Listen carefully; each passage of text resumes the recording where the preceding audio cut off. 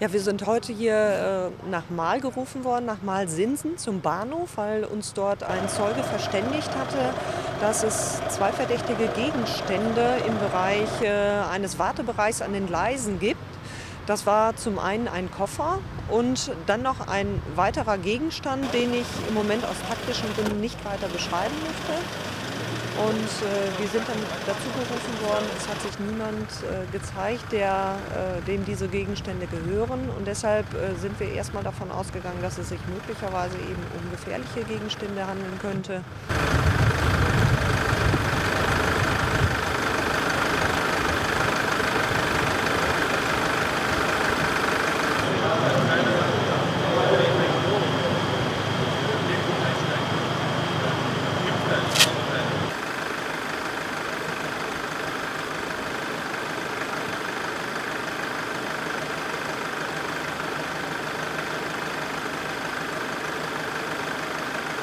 Haben Unterstützungskräfte dazu geholt, insbesondere auch äh, Spezialisten, die sich eben auch mit Sprengstoffen auskennen.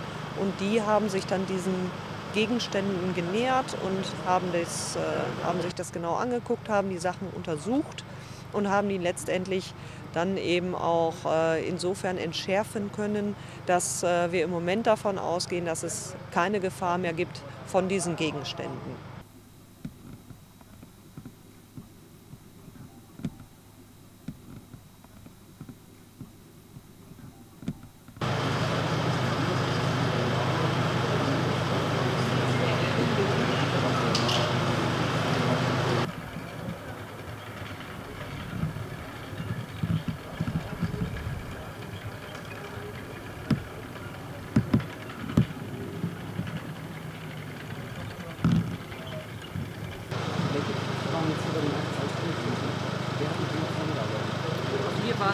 zunächst war die Bundespolizei eingesetzt, Sie sind ja eben auch für die Bereiche der Wahlhöfe zuständig.